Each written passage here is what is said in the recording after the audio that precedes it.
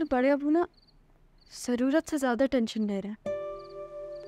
घर का माहौल तो तुम्हारे सामने ही है ना?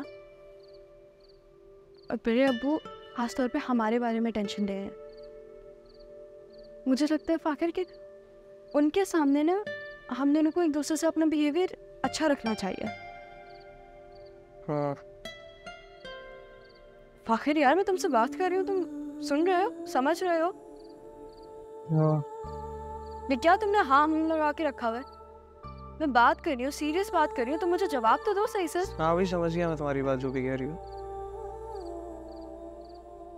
बड़े अब्बू की बिल्कुल भी टेंशन नहीं है तुम्हें? यार मैं अभी दोस्तों के साथ जा रहा हूँ आपसे आता हूँ तफसील से बात करते हैं इस बारे तुम बाहर जा रहे हो।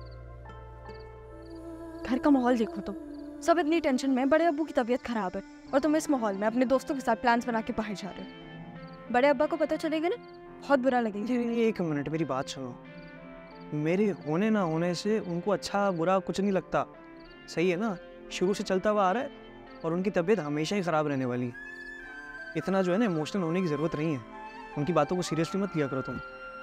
अच्छा एक तो मुझे इमोशनल ब्लैकमेल करते रहे उनकी वजह से। निकल आओ उस चीज़ से। जा रहा हूँ मैं।